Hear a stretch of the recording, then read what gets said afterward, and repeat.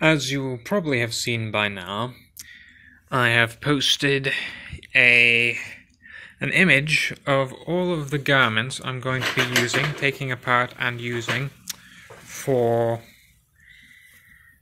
the project and I have taken them apart. I've ironed them, ironed and starched. This will um, oh, make it a lot easier to sew them together if they're a little bit stiffer, I've found in the past. Um, and over here on this side, I've got the trousers I'm going to be using for the R. Daneel, the Spacer, Robot Spacer Fellows costume. Um, I've seam ripped the sides open. Now, they're fairly loose trousers to begin with, but A, there's part of me that kind of wants to give them just a little bit of a boot flare, because I seem to remember something about that, and I know there's supposed to be a stripe down the side.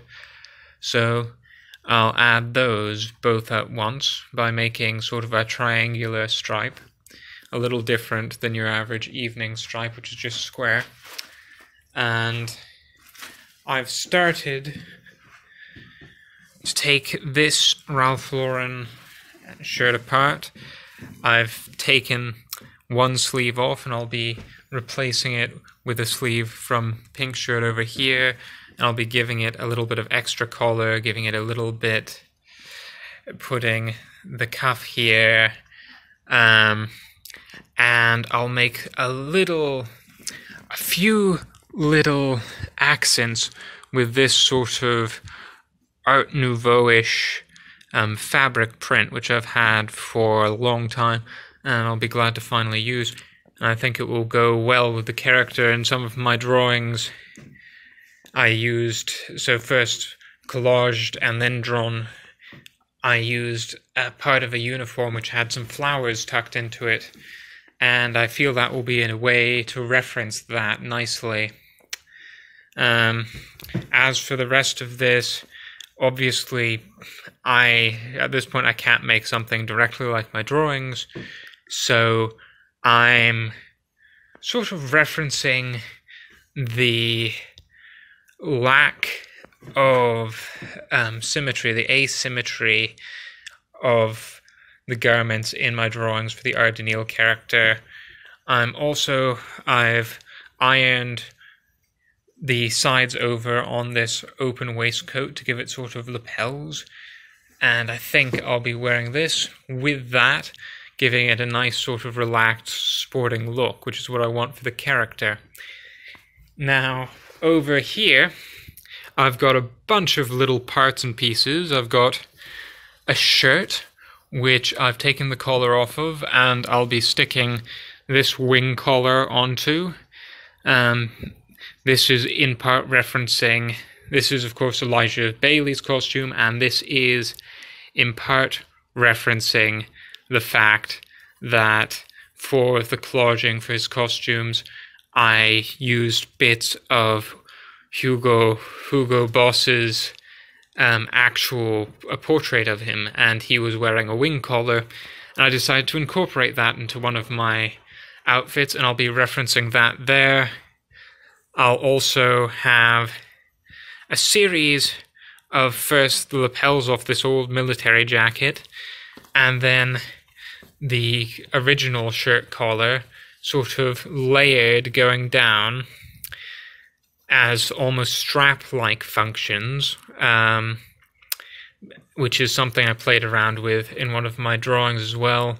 Um, use the epaulets, or however you say it, um, French word, as straps going down, continuing that theme, possibly um, adding these pockets onto there and buttoning those onto those and using other pieces from that jacket to drape over it and installing this zipper which is from the sweater you will have seen in the photograph of all the garments intact um, to close it all.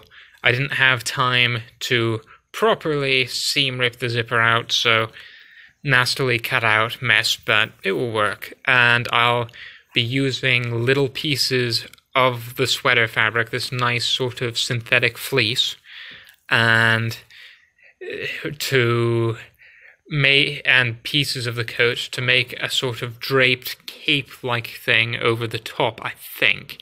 And then I've got some dark, dark, rather plain, boring pinstriped trousers, which I will actually probably find some ways to connect to the main garment so that it's more of a jumpsuit, more of, or something maybe boilish suit-ish, um, a pilot suit maybe. Um, now I've got some other fabrics that I might use that I've got set to the side, but these are the main pieces that I'll be using for now. I hope this was interesting. Bye. Well, I've finished the R. Daneel costume, and I'm going to go out and shoot for the day. I've got some things to do with it. But I thought for the sake of the little documentary I would show some of the aspects. As I said, I did replace the collar on this sort of light yellow off-white shirt with the pink collar and I did indeed use the little flower pattern fabric for accents. Now my left sleeve is a pink dress shirt sleeve, um, or what we'd moderately consider a dress shirt. My right sleeve, however, is the natural sleeve of the garment except for the cuff, which is the shirt's cuff. And I have obviously also done some little um, elaborations onto that with little pieces of fabric. Now, the trousers, I have a stripe of off-white going down to a triangle, or, well, trapezoid rather, in this case,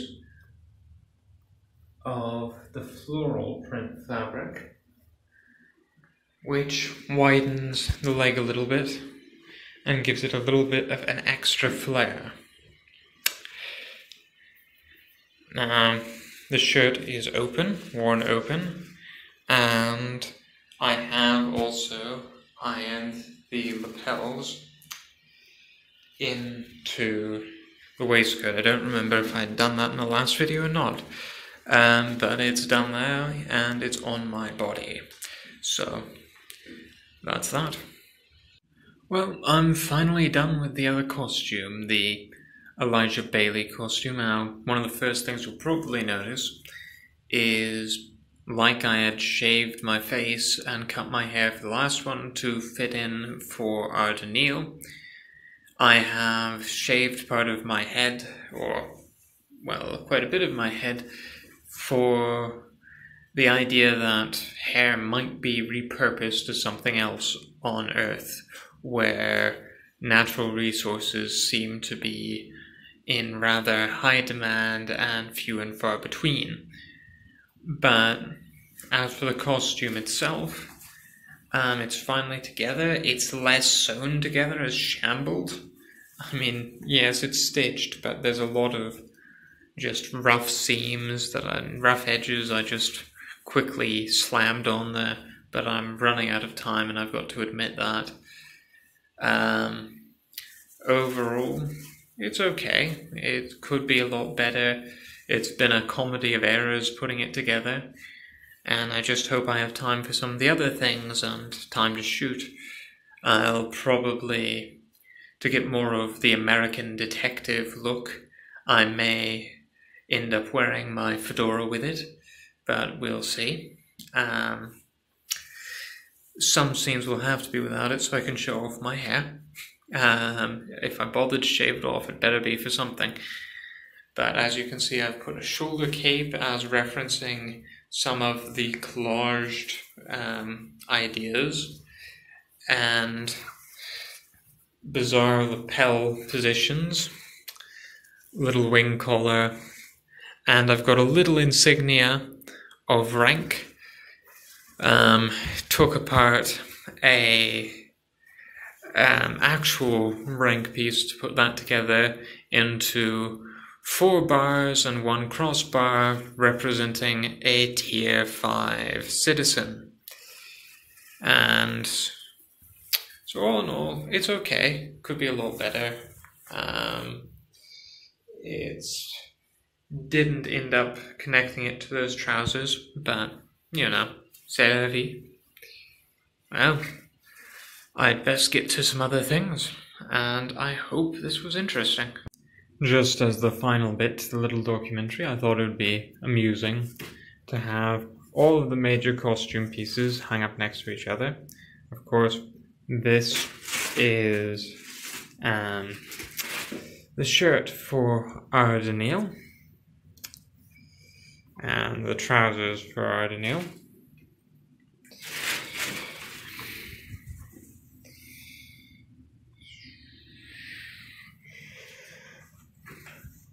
And this is the shirt coat thing that I made for Elijah Baley